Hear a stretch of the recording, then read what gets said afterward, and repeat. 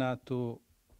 il primo luglio, è diventato operativo il primo luglio di quest'anno, quindi 2016. È una banca antica e nuova, nel senso che pur essendo nato adesso è stato generato da due banche, due BC, Banca Credito Cooperativo, una cremonese e l'altra Castel Goffredo, che hanno 120 anni di vita, quindi hanno una storia alle spalle, una storia che ha permesso a queste due banche di servire il loro territorio e di sostenere le persone, le famiglie e le comunità.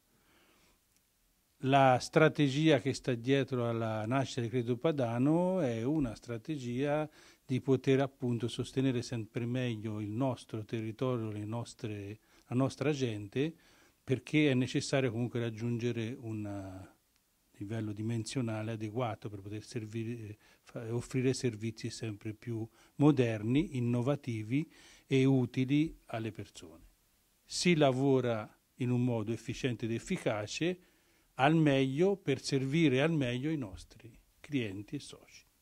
Se le banche sono fatte di persone, la società e le comunità sono fatte di persone, è chiaro che non si può prendere come obiettivo la, il ridimensionamento e la eh, riduzione del personale, bisogna farlo lavorare meglio. Quindi responsabilizzarlo sempre di più e fare in modo che si produca tutti al meglio per raggiungere risultati, perché chiaramente poi risultati bisogna raggiungere, però si raggiungono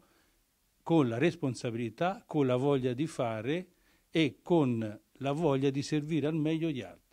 E soprattutto per fare questo tipo di attività bisogna che le stesse persone, quindi lo stesso personale tra colleghi, ci sia pieno rispetto e voglia di lavorare insieme, collaborazione, cooperazione e i risultati vengono.